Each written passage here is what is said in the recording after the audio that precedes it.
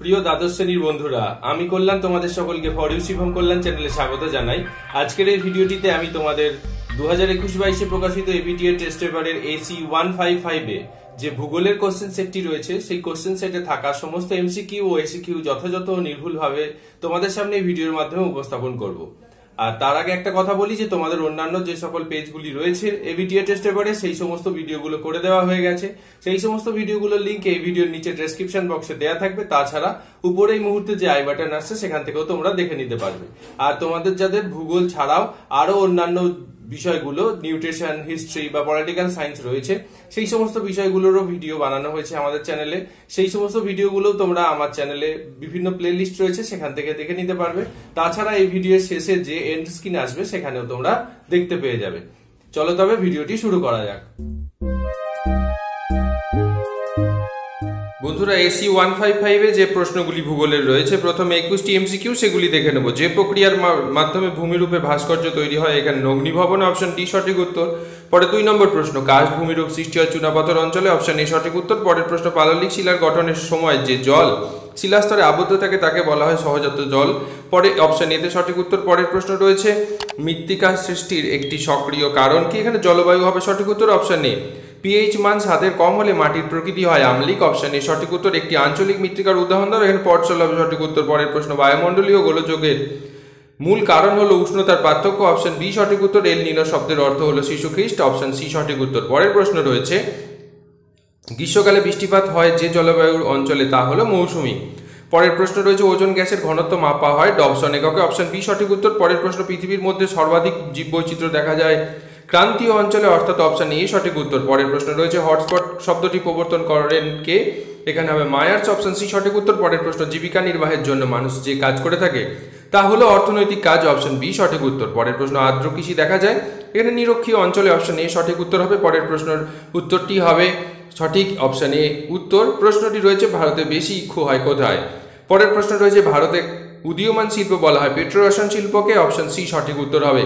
পরের প্রশ্ন রয়েছে, বিশুদ্ধ কাঁচামালের পণ্য সূচক কত? এখানে অপশান এ হবে সঠিক উত্তর অপশান বিটিও কিছু ক্ষেত্রে সঠিক উত্তর হতে পারে। পরের প্রশ্ন রয়েছে মানে দুটোই হতে পারে, তোমরা অপশান এটাই দেবে। পরের প্রশ্ন রয়েছে, রাইন নদীর তীরে অবস্থিত শিল্পাঞ্চলটি হলো অপশান বি সঠিক উত্তর, রুড। পরের প্রশ্ন রয়েছে, মোট জনসংখ্যা ও মোট কার্যকারী জমির অনুপাতকে বলা হয় মানুষ জমির অনুপাত। অপশন বিতে সঠিক উত্তরটি রয়েছে, পরের প্রশ্ন রয়েছে, জনসংখ্যা বৃদ্ধির হার বেশি কোথায়? যে যে মহাদেশগুলি রয়েছে, তার মধ্যে অপশন সি সঠিক উত্তর হবে আফ্রিকা মহাদেশে। পরের প্রশ্ন রয়েছে, জাতীয় সড়কের পাশে যে বসতি গড়ে ওঠে, তাকে কি বলে? সরল রৈখিক বসতি বলা হয়। অপশন সিটে সঠিক উত্তর। পরের এমসিকিউ এমসিকিউসিএস এসিকিউ দেখব। প্রথম প্রশ্ন রয়েছে, ছোট আয়তনের উভালা কি নামে পরিচিত? জামা নামে পরিচিত। পরের প্রশ্ন রয়েছে, ট্যালাস কি? বন্ধুরা, ভিডিওটি ভালো লাগলে অবশ্যই লাইক করো চ্যানেলে নতুন হয়ে থাকলে চ্যানেলটি সাবস্ক্রাইব করে পাশে থাকা বেল আইকনটা প্রেস করে দিয়ে আমাদের সাথে থেকো, যাতে আমি যখনই নতুন কোনো ভিডিও আপলোড করি না কেন সত্ত্বর তোমরা নোটিফিকেশনটি পেয়ে যাও। দুই নম্বর ট্যালাস্কিতে উত্তর লিখব, শীতল জলবায়ু অঞ্চলে শিলার ফাটলের জন্য মধ্যে জমা জল ঠান্ডা হয়ে জমে গিয়ে বরফে পরিণত হয়, আবার অধিক উষ্ণতায় গলে যায়। জল বরফে পরিণত হলে আয়তনে প্রায় নাইন পার্সেন্ট বৃদ্ধি পায়। এই কারণে ওই জমে যাওয়া বড় ফাটলের গায়ে প্রবল চাপ দেয় এবং শিলায় ফাটল আরও বৃদ্ধি পায়। দিন ও রাতের উষ্ণতার তারতম্যের জন্য, জল ও বরফের চাপের হ্রাস বৃদ্ধির জন্য শিলায় যে প্রীড়ন সৃষ্টি হয়, সেই প্রীড়নের ফলে শিলাসমূহ ভেঙে টুকরো টুকরো হয়ে তীক্ষ্ণ শিলাখণ্ডে পরিণত হয়। এই ধরনের তীক্ষ্ণ শিলাখণ্ডকে স্ক্রিবাটেলাস বলা হয়ে থাকে। পরের প্রশ্ন, মৃত্তিকার গ্রথন কাকে বলে? মাটির মধ্যে বিভিন্ন আয়তনের কণা থাকে, যেমন পলি, বালি, কাদা প্রভৃতি। মাটির মধ্যে অবস্থিত পলি, বালি ও কাদা কণার আপেক্ষিক অনুপাতকে মাটির গ্রথন বলা বা মৃত্তিকার গ্রথন বলা হয় বা মৃত্তিকার গুণনও বলা হয়ে থাকে। সাধারণত দুই মিলিমিটারের কম ব্যাসযুক্ত খনিজ কণার অনুপাতকে মৃত্তিকার গ্রথন বলা হয় থাকে। পরের প্রশ্ন আছে অথবাতে সোলাম কি? উত্তর লিখে বিভিন্ন জৈব রাসায়নিক প্রক্রিয়ায় মূল শিলার উপরে যে আস্তরণ পড়ে তাকে সোলাম বলে।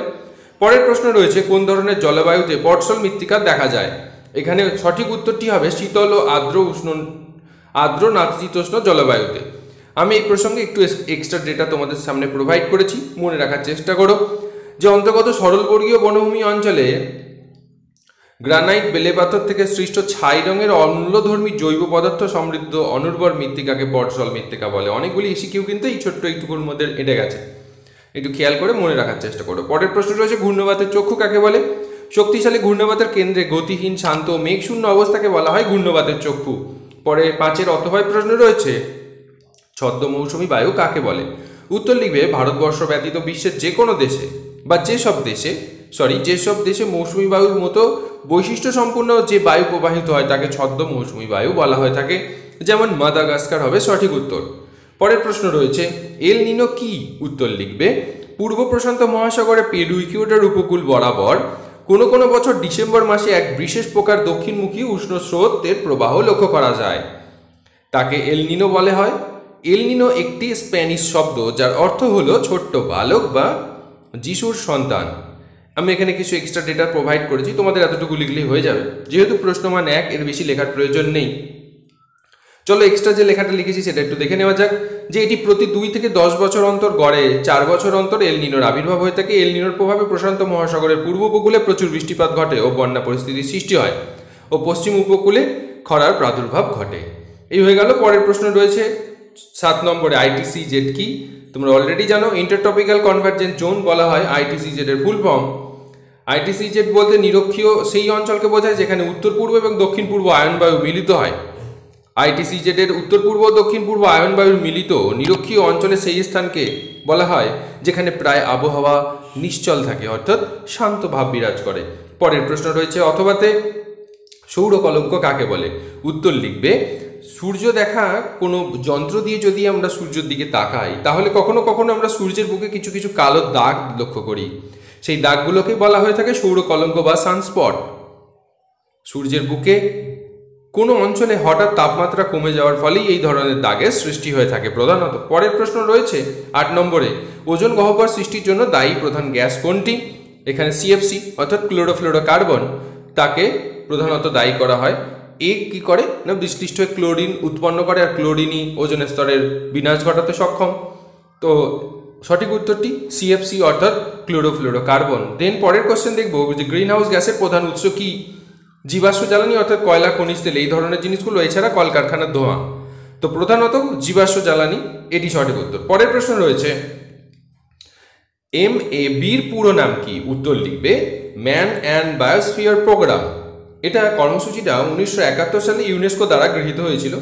এই যে ম্যান অ্যান্ড বায়োস্ফিয়ার প্রোগ্রাম এর সদর দপ্তর প্যারিসে অবস্থিত। এই কর্মসূচি ভারতে কবে গৃহীত হয়? উনিশশো ছিয়াশি সালে। এক্সট্রা ডেটা প্রোভাইড করেছি, একটু খেয়াল রেখো। পরের প্রশ্ন রয়েছে, জিন বৈচিত্র্য কাকে বলে? দশ নম্বরে রয়েছে। উত্তর লিখবে, একই প্রজাতিভুক্ত বিভিন্ন জীবের পারস্পরিক পার্থক্যকেই জন্মগত বা জিনগত বৈচিত্র্য বলা হয়ে থাকে। যেমন প্রতিটি মানুষ একে অন্যের থেকে আলাদা, এটা জিনগত বৈচিত্র্যের জন্যই সহজে পৃথক করা যায়। পরের প্রশ্ন রয়েছে, প্রজাতি বৈচিত্র্য কাকে বলে? প্রজাতিগত বৈচিত্র্য বা প্রজাতি বৈচিত্র্য হল কোনো নির্দিষ্ট জীব সম্প্রদায়ের মধ্যে বিদ্যমান প্রজাতির সংখ্যাকে বলা হয়ে থাকে। পরের প্রশ্ন, শস্য সমন্বয় কাকে বলে? উত্তর লিখবে, কোনো নির্দিষ্ট কৃষি অঞ্চলে মোট কর্ষিত জমিতে উৎপাদিত এক বা একাধিক শস্যের পারস্পরিক বন্টনগত গাণিতিক সম্পর্ককে শস্য সমন্বয় বলা হয়ে থাকে। পরের প্রশ্ন, কোন ফসলকে তৃষ্ণার্ত ফসল বলা হয়? সারা পুরো চাষটা জুড়েই, সমগ্র চাষ, সারা চাষটাতেই জলের প্রয়োজন হয়, তাই একে তৃষ্ণার্ত ফসল বলে ধানকে। চলো পরের প্রশ্ন দেখি, হেরিটেজ শিল্প কাকে বলে? উত্তর লিখবে, পর্যটন শিল্পে উৎসাহিত করার জন্য প্রাচীন নির্মাণগুলিকে যেমন স্থাপত্য, সৌধ, এই সমস্ত জিনিসগুলো সংরক্ষণের মাধ্যমে যে শিল্প গড়ে ওঠে তাকে হেরিটেজ শিল্প বলা হয়ে থাকে। পরের প্রশ্ন রয়েছে, শিল্পের অবস্থানগত ত্রিভুজ কাকে বলে? উত্তর লিখবে, কোনো একটি শিল্পের দুটি কাঁচামাল ও একটি বাজার থাকলে এই তিনটি উৎপাদনকে যুক্ত করলে একটি ত্রিভুজ গঠিত হয়। এইরূপ অবস্থানকে বলা হয় অবস্থানগত ত্রিভুজ। পরের প্রশ্ন ব্রেইন ড্রেইন কি? উত্তর লিখবে মেধা প্রবাহ বা ব্রেইন ড্রেইন বলতে সাধারণত উচ্চ মেধা সম্পন্ন ও উচ্চশিক্ষিত জ্ঞানী ব্যক্তি উচ্চ জীবনযাত্রা লাভের উদ্দেশ্যে নিজ দেশ ত্যাগ করে অন্যত্র চলে যাওয়ার ঘটনাকে বোঝানো হয়ে থাকে। পরের প্রশ্ন আছে, জনঘনত্ব কাকে বলে? উত্তর লিখবে, কোনো দেশ বা অঞ্চলের প্রতি বর্গ কিমিতে যে পরিমাণ জনসংখ্যা বসবাস করতে থাকে, তাকে বলা হয় জনঘনত্ব। অর্থাৎ জনঘনত্ব পরিমাপ করা হবে কীভাবে? না, মোট জনসংখ্যাকে মোট জমির অনুপাত দিয়ে ভাগ করলে বেরিয়ে যাবে। কারণ ভুল আছে, মোট জমির অনুপাত। ঠিক আছে? মোট জমি হস, পরিমাণ। এই হয়ে গেল তোমাদের এই প্রশ্ন সেটটির আলোচনা।